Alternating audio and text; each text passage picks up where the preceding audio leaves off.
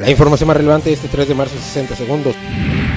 El gobernador del estado designó a Jorge Argáez Uribe como secretario de gobierno tras la renuncia que presentara William Samuel Turbina al ser postulado por el PRI en las listas de diputados plurinominales.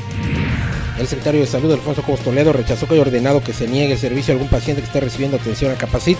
Esta acusación la hizo el presidente de la asociación Oasis Una Luz de Esperanza, Carlos Potchan. Abraham Cervera Ganso, presidente de la CUDIR, anunció que espera un incremento del 50% en ingresos durante la temporada vacacional de Semana Santa, con lo cual estabilizarán las bajas ventas que se presentan en los primeros dos meses del año. Al entregar reconocimientos a los 11 médicos que egresaron de la quinta generación de médicos especialistas del programa de posgrado, el titular de salud, Alfonso Cobos Toledo, destacó que hasta el momento se han formado 75 médicos especialistas.